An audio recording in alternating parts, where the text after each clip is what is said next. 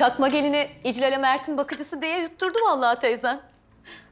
Ay Aytül Hanım, yani gördüm gördüm ama sizin gibisini de hiç görmedim gerçekten. Ay kızı İclal'in karşısında görünce ben bayılıverecektim neredeyse. Ay ne kadar rahat yalan söylüyorsunuz öyle. Bravo doğrusu, büyük maharet. Şimdi ne olacak teyze? Valla şimdi ne olacağını bir Allah bir yiğit bilir Cahit'cim. Baksana, iğnenin deliğine girse bulup getiriyor karısını. Ay kızın o kadar kulağını çınlattık da bir kase çorba götürmedik. Bari ben şu kalan çorbadan ısıtıp da götüreyim biraz sevabını. Otur oturduğun yerde. O kızın yanına yaklaşmayacaksın. Hizmetçiyi çağıramıyorsunuz korkunuzdan. Çağırın o zaman o götürsün. Ben de çok meraklıydım elin kızını beslemeye. Nazan tamam. Ben senin neye meraklı olduğunu çok iyi biliyorum. Allemet, kallemet yeter ki ortalık karışsın. Ben ne yaptım şimdi? O uğursuzu Yiğit'in başına sen sardın. Bugün o püsküllü bela yine ayağımıza dolandıysa senin yüzünden. Ay kusura bakmayın ama siz artık ne dediğinizi iyice şaşırdınız Aytül Hanım. Ay ben nereden bileyim canım kız nereye gitmiş, ne yapmış, nereden gelmiş? Allah Allah ya. Yani ayağınız taşa takılsa benden bileceksiniz artık. Senin derdin bir ben bir kızım. Eziksin. Ne yapsan atamadın o ezikliği üstünden. İcreli kıskanmaktan gözün dönmüş senin. Ay kusura bakmayın da ben neyini kıskanacağım acaba sizin kızınızın? Neyini kıskandığını bütün şu duvarların dili olsa hepsi söyler. Kusurlusun. Eksiksin. Teyze. Senin kızın aslan gibi erkek evlat doğurdu da ne oldu? Hı? Bu saatten sonra ben ona anca acırım.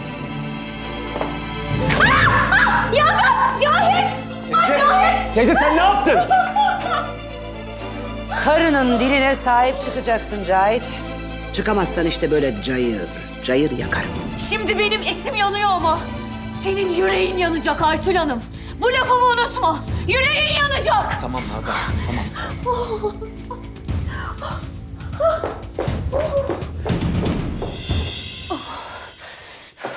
Haşladı kadın beni cayır cayır yaktı ya. Nazan hadi şu üstünü değiştir şu merhemi süreyim sana. Sen anca merhem sür zaten Cahit. Sen anca üfle yarama uzaktan uzaktan. Ya kadın karşına geçip karına kusurlu diyor, kısır diyor. Sen elini yumruğunu masaya bile vuramıyorsun ya. Ne yapayım Nazan? Kaç yaşında kadın ana yarım ya? He? Gidip boğazına mı sarılayım? Yiğit gibi bardak çanak mı kırayım? Ne yapayım? Kaçtır söylüyorum sana gidelim buradan diyorum. Şöyle kalabalıktan teyzemden uzak bir dört duvarımız olsa. Ya belki her şey bambaşka olur. Belki biz bile seni... kuyruğumuzu kıstırıp gidelim buradan. O yaşlı cadı da arkamdan tef çalsın öyle mi? Ben baba ocağından dört duvar apartman dairesine kısılmak için çıkmadım Cahit. Ben Kozan çiftliğine gelin olmaya, hanım olmaya çıktım.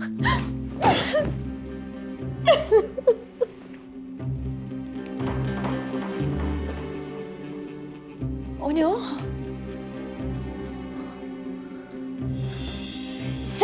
Kumar mı oynadın Cahit? Nazan bağırma. Allah seni kahretsin be! Ya sen ne utanmaz bir adamsın ya! Daha tövbe edeli, daha eli silahlı adamları başımızdan def edeli bir sene bile olmadı be! Ha bir de utanmadan gidelim buradan diyor. Nereye gideceğiz? Gireceğiz bir apartman dairesine. Sen paraları kumarda yiyeceksin. Ben de dört duvar arasında kısılıp kalacağım öyle mi? Nazan kafam dağılsın diye stres atmak için yaptım. Bana bak. Şimdi şu kapıdan çıkarım. Bu fişi Yiğit'in gözüne sokarım. Sen o zaman görürsün stresi. Nazan sakın. Bir daha buradan gitme lafını ağzına almayacaksın Cahit. Yoksa Allah şahidim. Gözünün yaşına bakmam Yiğit'e her şeyi anlatır.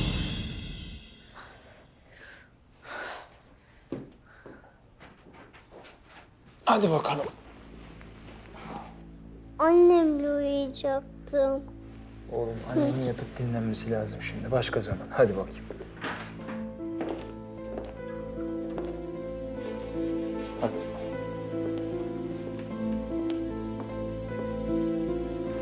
Çok yorucu. Çocuk çok yorucu.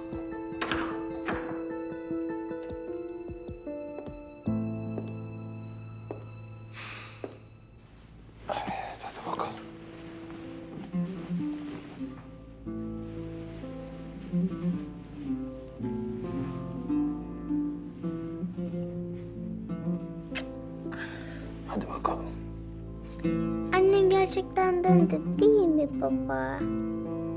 Sabah olunca kaybolmayacak değil mi? Annen gerçekten döndü evlat. Senin için döndü. Bir daha da hiçbir yere kaybolmayacak merak etme. Yiğit çocuğu yatırıp gelecek kalkmama yardım et de şu geceliğimi değiştirelim. Hayır hayır kalkma. Gerek yok yavrum. Böyle gayet iyisin. Yorma kendini. Yavrum sen bir iyileş. Sonra düşünürsün bunları. Haklısın. Şu halimle ipek gecelik giysem ne olur zaten değil mi? Çünkü gençliğimi, güzelliğimi, kadınlığımı, her şeyimi bıraktım ben sanki o uykuda. Uyandın ya sen. Gençlikte, güzellikte hepsi senin bundan sonra. Çocuk Yiğit'i ne kadar oyalıyor ya. Bakıcısı ne iş yapıyor? Niye o bakmıyor? O bakıcı geçici zaten. Hani öyle çok e, işten anlayan bir kız değil. Açıkçası ben çok memnun değilim. Bugün yarın yol veririm ben ona. Hani bu işlerden biraz daha anlayan birini bulacağım ben. Sen merak etme. Kimi bulursan bul. Ben üç yıl o kabusun içinde çocuk eylemek için yatmadım. Kocama kavuşmaya geldim ben. Düşünme sen artık bunları. Güzel bir uyku çek şimdi tamam mı? Dinle. Yiğit'i çağır. Bu gece yalnız uyumayacağım.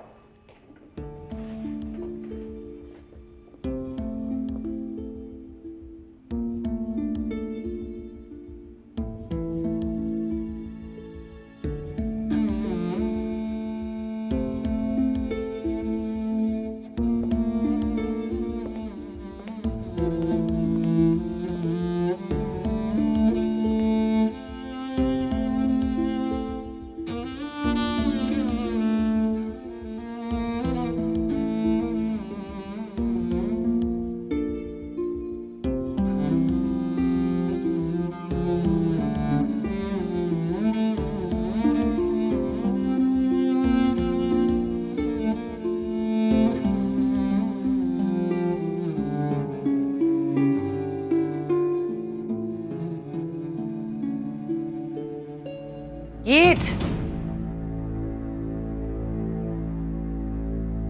Karın seni bekliyor. Bu gece yalnız uyumak istemiyormuş.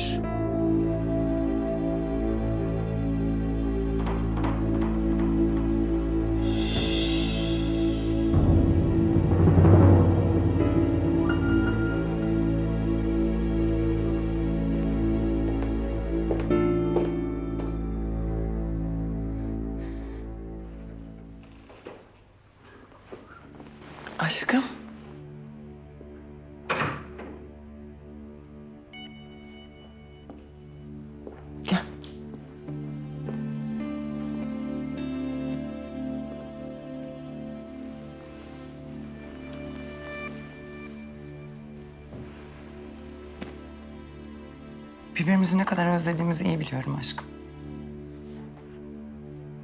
Ben daha tam iyileşmediğim için elimi bile tutmaya çekiniyorsun. Ama ben senin için iyileşiyorum. Önce sağlığıma sonra sana kavuşacağım.